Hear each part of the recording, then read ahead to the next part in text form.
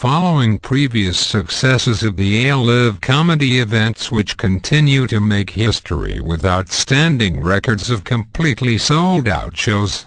The AY brand was set to make a landmark statement in 2012 with a comedy concert at the AY Live Lagos Invasion concert on April 8, 2012 and indeed lived up to the billing.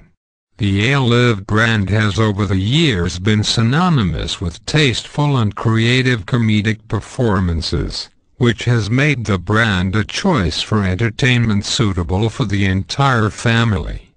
This fact is buttressed by the annual display of the best comedians and musicians and hilarious comic skits which are done in conjunction with the cream of the movie industry both within and without the country.